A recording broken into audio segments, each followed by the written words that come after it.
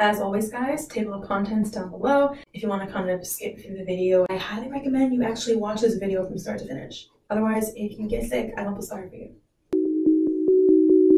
Munching my way up to the top, to the top. Miss March, March, March, March, Hey guys, what is up? It's Miss March and welcome back to my YouTube channel. I work in healthcare for those of you who don't know. I actually work at a hospital, so we are constantly sanitizing and hand washing in between patients. With this COVID-19 pandemic, you keep hearing in the media the importance of hand washing, but I don't necessarily see them showing you how to do that.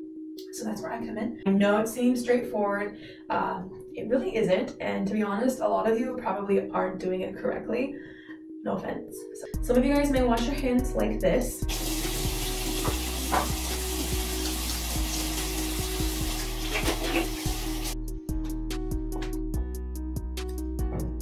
Or you may wash your hands like this. And 20 seconds later,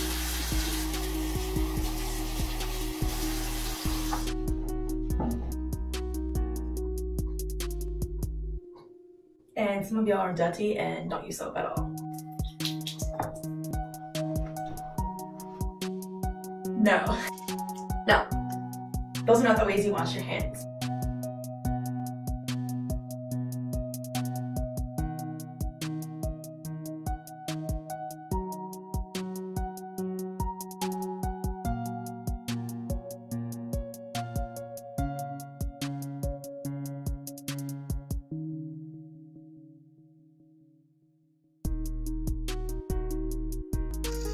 Just gonna bring you guys a bit closer here. So I'm gonna show you guys now how to properly wash your hands um, with a little bit of a modification. Just watch me and then you'll know what it is that I'm talking about. So first you're gonna run the tap like this. You can keep it about lukewarm. Get your hands a bit wet. Get a nice amount of soap on there. And now I just turned off the tap, right? So now I've touched the tap when my hands are dirty. You wanna get, you know, maybe an amount that's like Sorry, my phone's going off. You want to have an amount that's maybe like that or something in your hand. And then you're going to do a back and forth lathering motion like this. Now these are all the maneuvers you want to do. You want to do a circular maneuver like that on your hand with the pads of your fingers because that way you're cleaning the pads of your fingers as well as the palm of this hand here. You want to also go like this so that your nails are getting cleaned. And then once you've done that, you want to get in between these fingers on this side. You'd be surprised how much bacteria ends up uh, remaining and getting uh, accumulated in these areas. Then you want to go like this on this side with your thumb, and you want to do a circular motion with your thumb like that.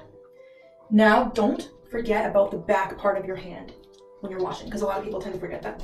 So do the whole back side here, back side, and also in between the fingers on this side. And then you want to go all the way through like that. So you're getting all up the fingers that way. You want to do the wrist as well. One thing I forgot to mention, if you're wearing any jewelry, uh, take it off before you wash your hands. And if you have long sleeves, make sure you roll it up so your forearm's exposed so that you can wash up your wrist a little bit, like how I'm doing.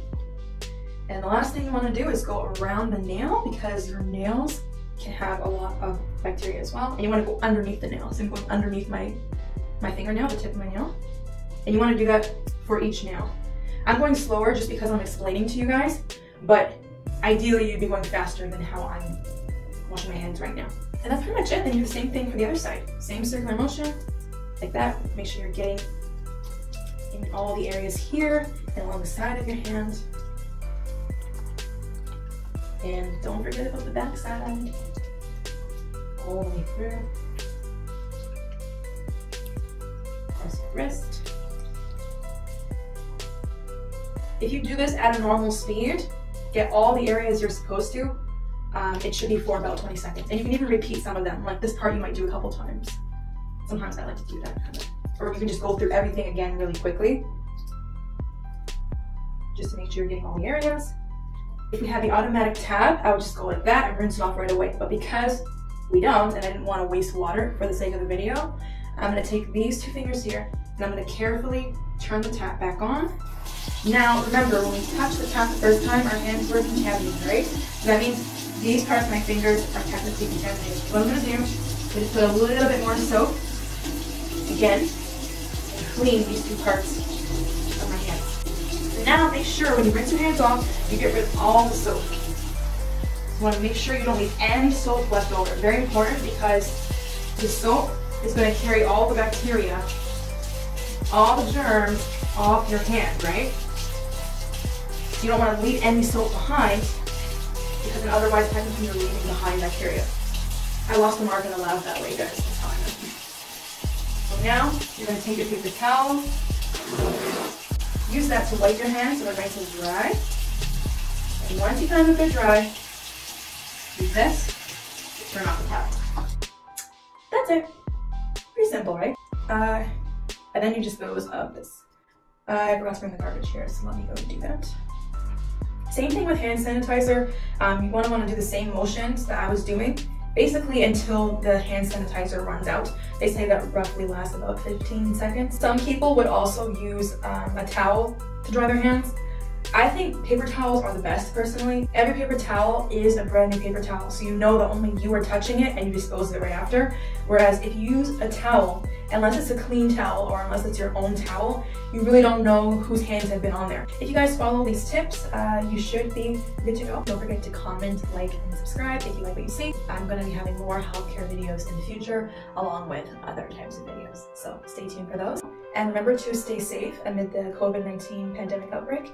And until next time, guys, take care.